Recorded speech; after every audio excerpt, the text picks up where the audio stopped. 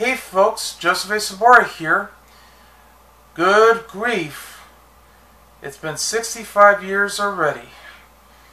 65 years since uh, October 2nd, 1950, when the Peanuts comic strip has arrived. And we already passed that, since it's now November.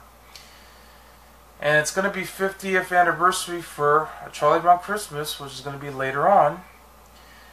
But that's not the only thing that's important about. Is that our favorite beagle of all time, Snoopy! In fact, just today he was honored by the Hollywood Walk of Fame.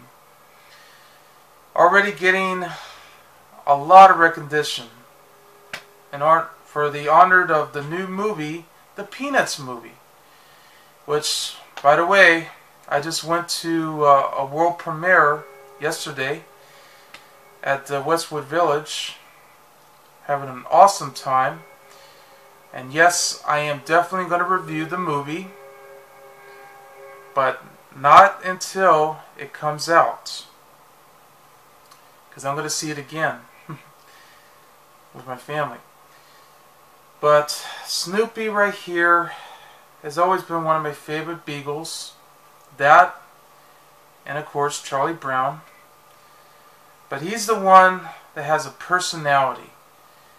The kind of dog that you really love. I mean, he's so cute, friendly, and you just want to hang out with. I mean, after all, he definitely has tons of characters of his own. I mean, he's Joe Cool, He's a World War One flying ace, the Masked Marvel. Hell, he's even uh, the vulture. He can do anything. And he can grab uh, Linus's blanket, you know, and runs around and swinging him all the way up in the air as he let goes of the blanket. you know, he always um, you know, knocks by kicking his foot on the door in case he gets hungry all the time because he always wants supper time, supper time, supper time. You know, trying to give Charlie Brown the attention he needs. Yeah, he always has his trusty friend, a, a little yellow bird named Woodstock. And of course, he does kiss Lucy in the nose on his lips. Yuck! I've been kissed by a dog! Well, anyway. But he's the kind of dog that Charlie Brown has had all of his life. In fact, it was supposed to be um, a gift from him after he's been teased a lot um, at a local park.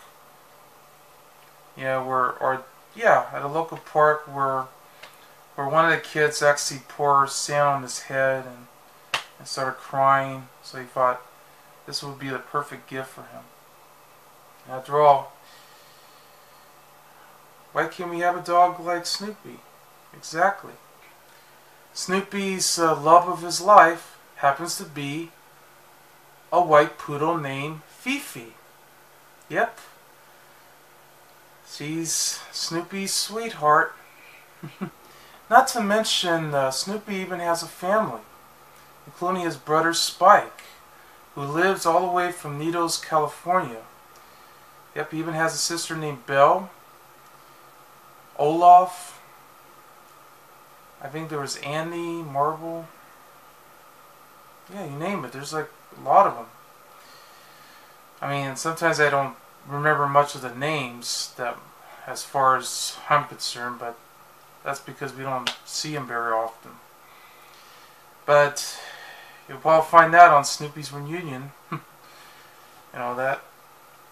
But yeah, because they're also uh, part of the band too from from the, when they were also part of it. You know, because they, after all, they were at the, the Daisy Hill Puppy Farm, as we know it.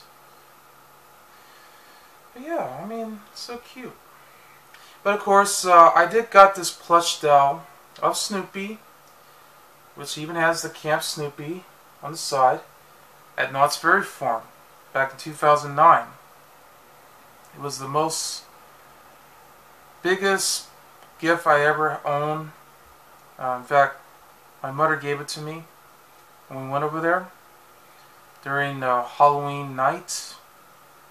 Perfect time for it, so I thought, why not? Yeah, it was a perfect gift. and that's why I love Snoopy so much.